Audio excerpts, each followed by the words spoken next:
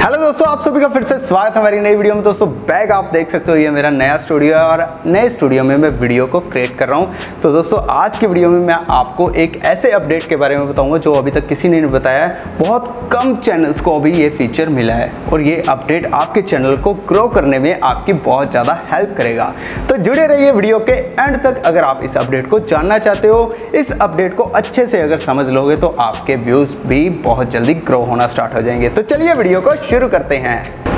दोस्तों, हम आ चुके हैं अपने मोबाइल की स्क्रीन पे। आपको मोबाइल की स्क्रीन नज़र आ रही है। और जैसे ही आप अपने वाइट स्टूडियो में जाओगे तो दोस्तों, आपको अपना चैनल ओपन कर लेना और जैसे ही आप यहाँ पे आ जाओगे, उसके बाद आपको व्यू मोर पे क्लिक कर देना है। जैसे ही आप व्यू मोर पे क्लिक करोगे और उसे स्क्रॉल डाउन करो, और यहाँ पे आपको एक स्लैश मैसेज नज़र आ रहा है। See how to grow your audience by getting them return और जैसे ही आप व्यू स्टोरी पे क्लिक करोगे तो गाइस यहाँ पे आप देख सकते हो 57 के व्यूज़ यानी कि ये सारे नए व्यूवर्स हैं मेरे 90 दिनों के अंदर जो मुझे मिले हैं।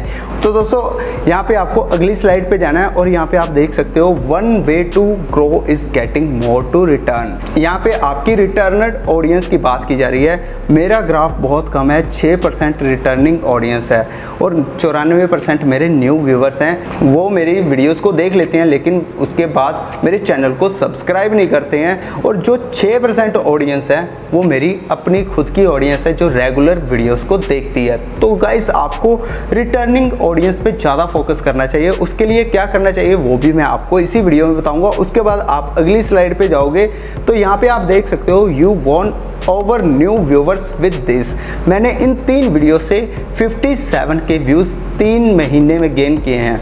तो दोस्तों, आप यहाँ पे देख सकते हो, वो तीन videos Ujjwal Kulkarni YouTube channel ये एक वीडियो मैंने बनाई थी, इस पर भी अच्छे खासे व्यूज़ आए हैं। उसके बाद इस वीडियो के व्यूज़ आएँगे दस हज़ार। और उसके बाद आप देख सकते हो कि चार हज़ार घंटे को कैसे कंप्लीट करना है। ये तीन टॉपिक मैंने कंप्लीट किए थे। अब मोस्टली आपको क्या करना चाहिए, अगर आपकी वीडियो यहाँ पे जो भी तीन वीडियोस आपको दिखाई जाएँगी, उसी टॉपिक पे आपको और वीडियोस बनानी है, ताकि आपकी रिटर्निंग ऑडियंस आपके चैनल पे वापस आ जाए।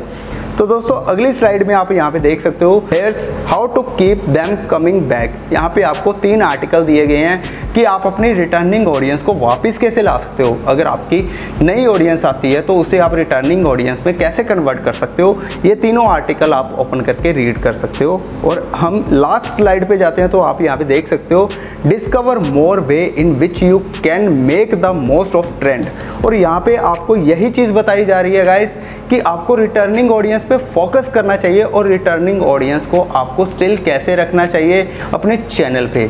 तो यहाँ पे आप देख सकते हो जो ट्रेंडिंग टॉपिक होता है उस पर ही आपको वीडियो बनानी चाहिए और वीडियो बहुत ही मस्त बनानी चाहिए क्योंकि अगर आपकी न्यू ऑडियंस आपके साथ जुड़ती है तो वो रिटर्निंग ऑडियंस में ऑटोमेटिकली कन्वर्ट हो जाएगी अगर आपका कॉन्टेंट अच्छा होगा। तो आई होप कि आप समझ चुके होंगे कि यूट्यूब के इस अपडेट से आप अपने चैनल को कैसे ग्रो कर सकते हो। आई होप कि आपको वीडियो अच्छा लगा होगा। अगर आपको वीडियो अच्छा लगा तो प्लीज़ वीडियो को लाइक कर दीजिएगा। अगर आप हमारे चैनल पर नए हो तो प्लीज़ हमारे चैनल को सब्सक्राइब कर दीजिएगा ताकि ऐसी ही वीडियो आप तक सबसे पहले पहुँच सके। तो चलिए, मैं मिलता हूँ नई वीडियो में। जय हिंद।